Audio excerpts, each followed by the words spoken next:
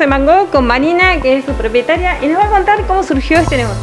La realidad es que yo hace un montón de tiempo que hago chocolates.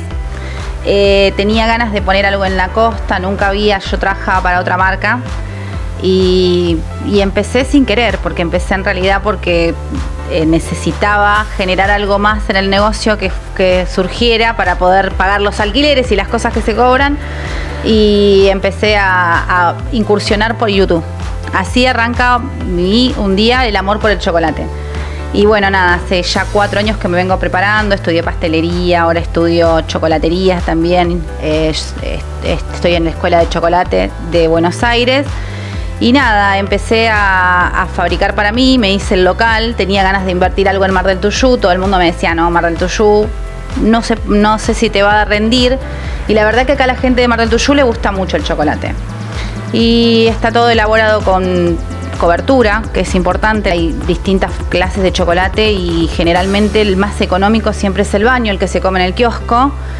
Y este es un chocolate que se elabora con cobertura, que tiene mucho menos tenor graso, que tiene mucho menos eh, aceites hidrogenados. Y además yo utilizo pulpas de fruta, eh, cremas, eh, todo lo que es frutas secas, reales, no uso pastas y eso hace que el chocolate sea bueno y haya tenido una aceptación que la verdad a nosotros nos sorprendió a pesar del año tan complicado que es este, que fue un año en donde en realidad la gente en vez de invertir cerraba y yo tuve la posibilidad de que no solamente poder abrir un local con mi marca propia, sino además que me vaya bien y que bueno, y que la gente le guste.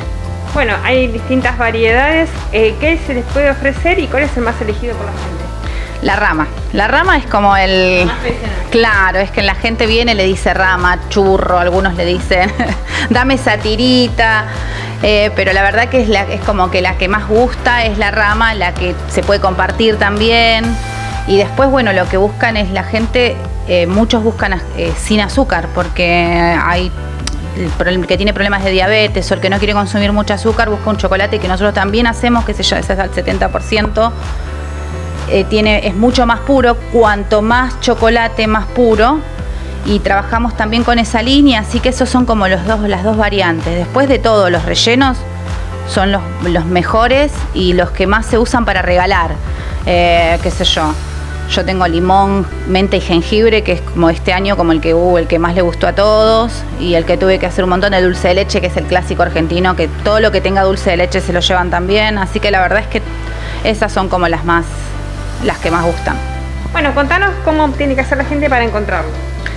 Y bueno, los locales nuestros están en, las, en las, peatonales de Santa Teresita y Mar del Tuyú. Eh, uno en la calle 2 entre 32 y 33 al lado de Alpino de la 32 y el otro en la calle 2 entre 73 y 74 al lado de Alpino de la 73.